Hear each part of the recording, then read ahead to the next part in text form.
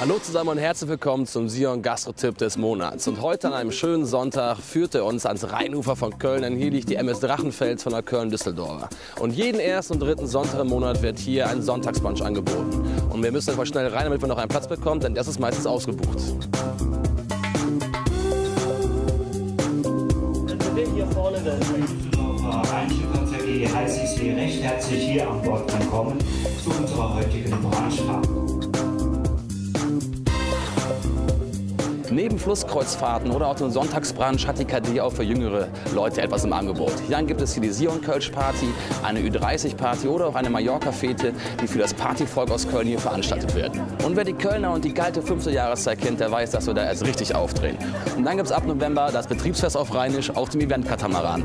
Eine Mischung aus Party, Impro-Theater und Dinnershow mit garantiertem Angriff auf die Lachmuskeln. Und natürlich gibt es auch zu Karneval und Silvester hier einige Feiern. Wichtig ist nur, vorher reservieren, denn meistens ist hier alles ausgebucht. So und auf Partys und Feierlichkeiten kann man hier auf dem Sonnendeck noch bis zum Ende abtanzen. Ich bleib noch ein bisschen hier sitzen, gehe noch kurz ans Buffet, esse mich satt. Aber bevor ich das mache, das wisst ihr schon von den letzten Sion Kölsch, da trinke ich erst noch eins.